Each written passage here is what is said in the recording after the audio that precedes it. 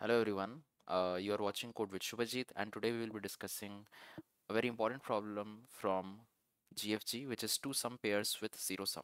So as the name suggests, you can actually understand that we have been given an array and we have to find the pairs which will actually uh, return us a sum of zero when the pairs are summed up. Okay, so if I take the example in this case, minus 1 0 1 2 minus 1 4 we have two elements minus 1 and 1 which will actually result to a sum of 0 okay? Now if there is a minus 2 here as well then we can have one more uh, pair that is minus 2 and 2 which will sum up to 0 okay? One most important thing to uh, keep in mind is we have something called unique pairs. So in this case in this case we have a minus 1 and we have a 1 here that will create a pair. We have one more minus 1 and we have this one here. So this is not this should not be duplicate. That's what i'm saying. Even if we have 2 minus 1 we cannot have two pairs with minus 1 1 minus 1 1 that is not possible. The pair of these two elements should be unique. So even so if we have a minus 1 and 1 which has occurred in the output array there will be no more minus 1 and 1 occurring again so that's the gist of the problem. Now we will go to the OneNote and understand the problem and the flow properly. So here you can see I have taken a random array which says minus 1 1 0 1 2 minus 1 4 I have also indexed them out. Now I just want you to think uh, that when we have to find the two values which will sum up to 0 how are we gonna find that the first brute and brute approach which is coming to my mind is actually running a double for loop over this right running a double for loop how will we do that we have an i pointer which will be running from 0 till the second last element okay and for a certain i we will be having a j which will actually run from i plus 1 to the last element. So in this case, when i is 0, the j will run from 1 till 6. Okay. When i is 1, the j will run from 2 till 6. So that's that's what I'm trying to say.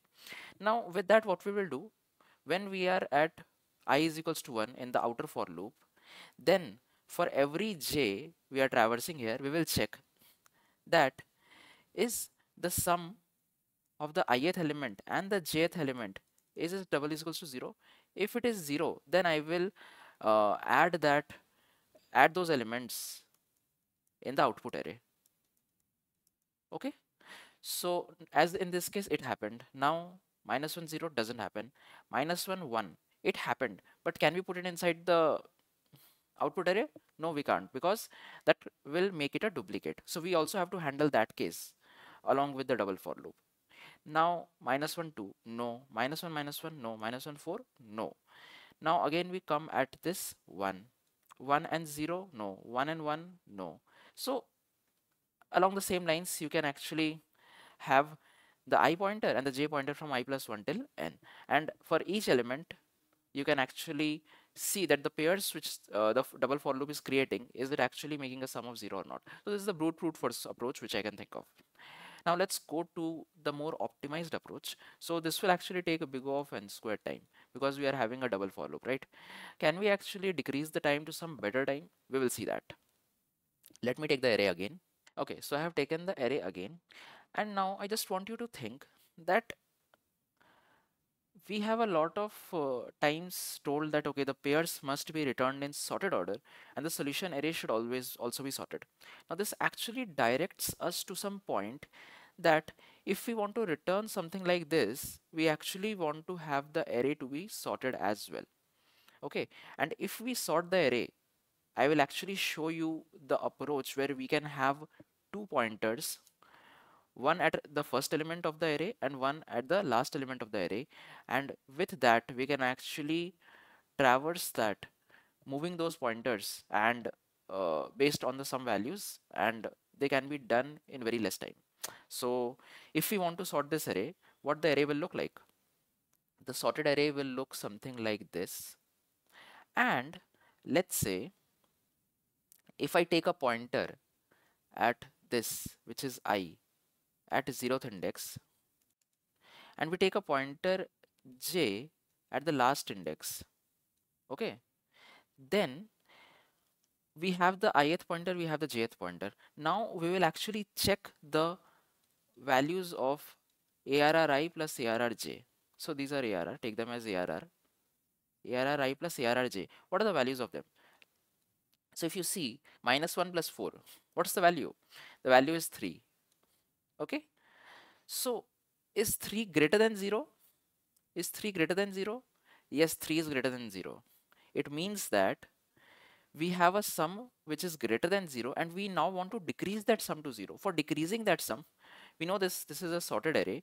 For decreasing the value we have to decrement the pointer from j to j minus 1 okay?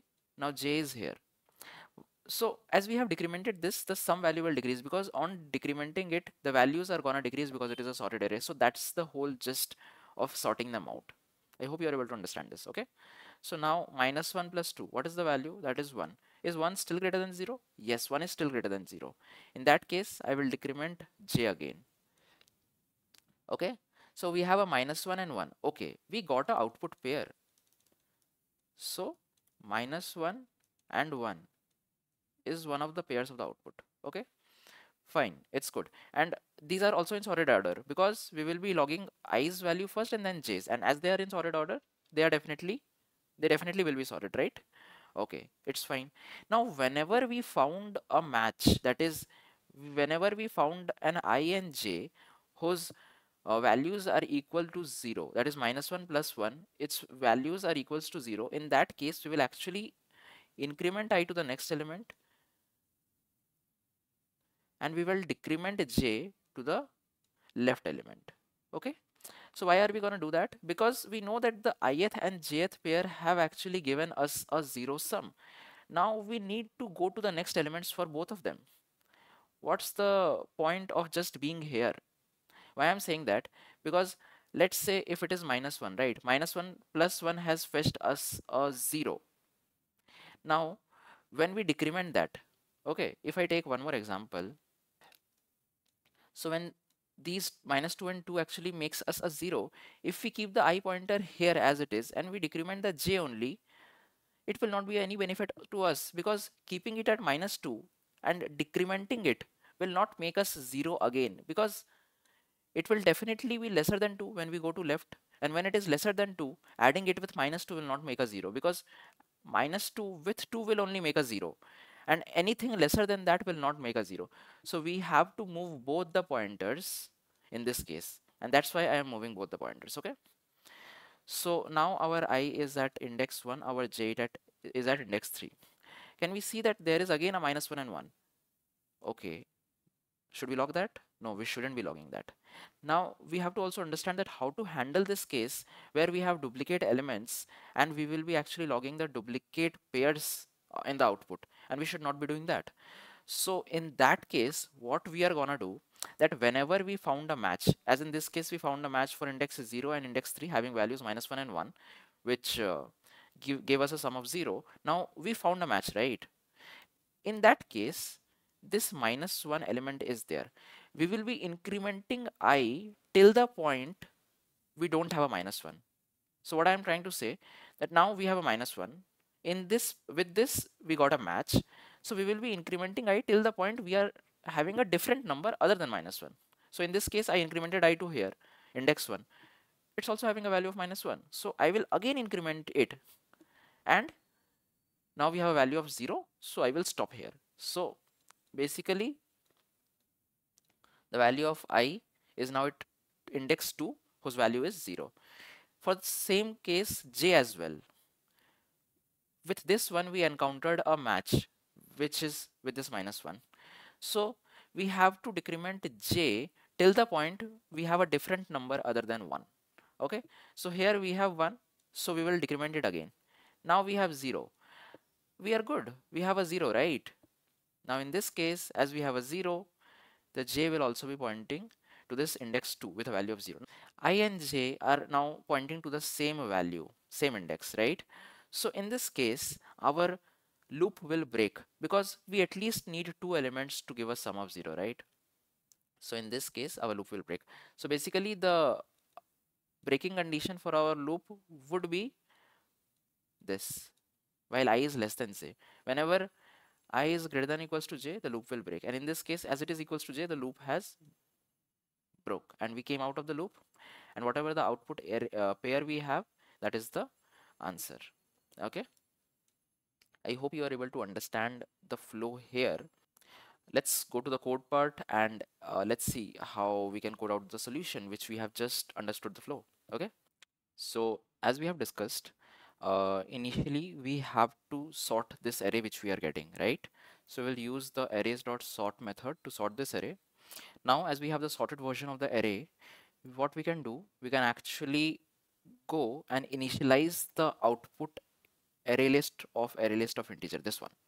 So let's take it as answer, new this. Uh, let me decrease here so we can see what's happening, okay? Fine. Now after this, as we have initialized the answer array, we have to initialize the two pointers as we have told. The i and the j, the i will be pointing to the first element and j will be pointing to the last element which is arr dot length minus 1. And after this, what we will be doing, we will be running a while loop and the breaking condition of that while loop will be i lesser than j. We don't want the i to be equal to or greater than j. Whenever that happens, we want to come out of the loop because in that case, we don't have two distinct elements. Okay.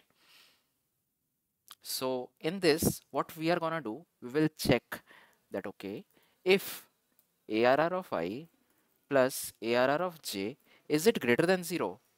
If it is greater than 0, it means we have to decrease the sum. For decreasing the sum, what we are gonna do, we will decrement the j. Now what we will check? We will check that is it lesser than 0? If it is lesser than 0, we have to increment the sum. For that case, what we are gonna do? We have to do i plus plus. Okay, because when it is lesser than 0, we have to increment that. To increment that, we have to here we have to increase the i pointer and we have to go to the right elements so that we can increase the sum okay now when these both cases are not true it means that arri plus arrj is equals to 0 right? And now our actual logic will be written here.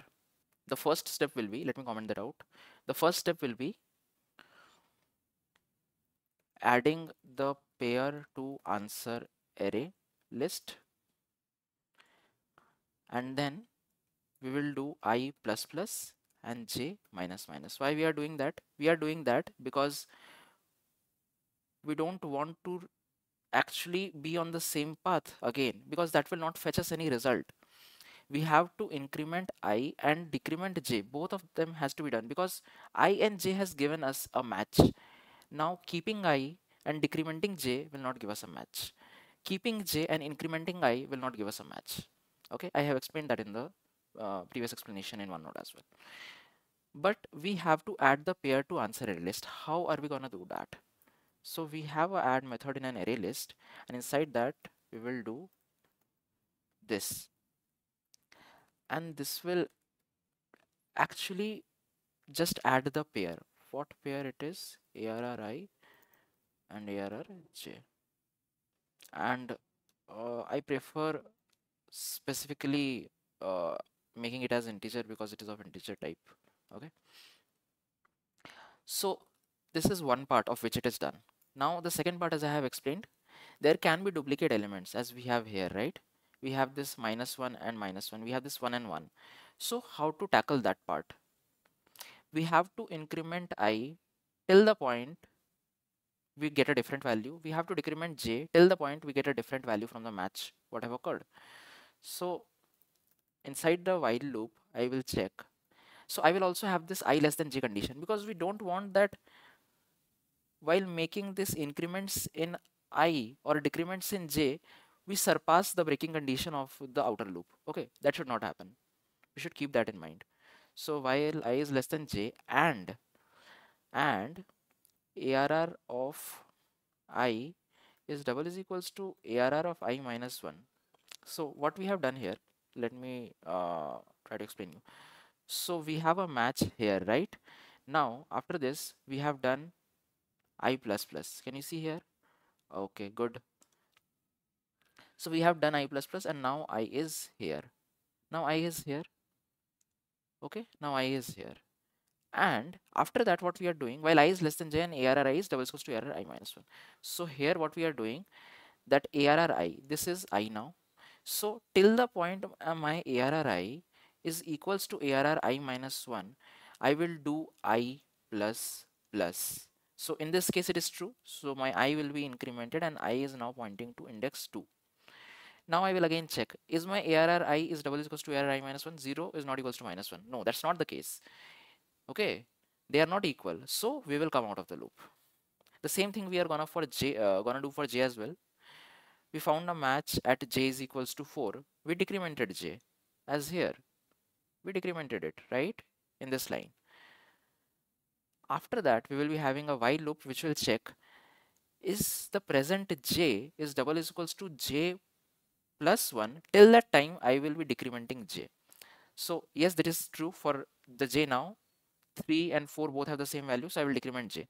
Now j is pointing to this value 0 and is now the case that j and j plus 1 the values the values at those indexes j and j plus 1 are the same? No they are not same.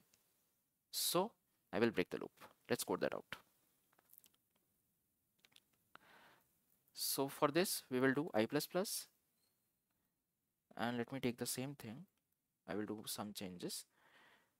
Uh, while i is less than j and arr j is double is equals to arr of j plus 1 till that time we'll do j minus minus I hope you are able to understand this fine and at the end we will be returning the answer so this is the whole code I hope you are able to understand this. Let us first combine and run and see, okay, this passes or not, the basic test cases. Okay, so we have minus 1, 1 expected output and my output as well. Uh, one more thing I forgot to tell you about the time complexity for this optimized solution which we are uh, which we have just coded out here. So that will be uh, including this sorting of array which is big O of n log n so the time complexity for this will be big O of n log n and uh, for traversing uh, this array right after sorting it for traversing uh, this while loop it will be traversing in uh, a linear time so big O of n. So the total time complexity so this is big O of n. So the total time complexity which we are using is actually big O of n log n plus n which actually boils down to big O of n log n only because that is the greater time which we have. And uh, the space complexity is uh, something related to only this answer which we have to return right but we are not taking any extra space out of that we are just populating the answer array list of array list so the space complexity according to me if we are not taking the answer into account it is big of 1 so I will highly recommend you to take some more random test cases, do a dry run as we have done here. Okay, do a dry run and understand how the algorithm is working. And then after that, what you can do, you can actually code out the solution. You have seen the video, you can code out the solution on your own now, understanding each and every line. And then you can submit the solution and see if all the test cases pass. So thanks a lot guys for watching till here. If you have any doubts, please comment them. I will be really happy to help. And that's all for today.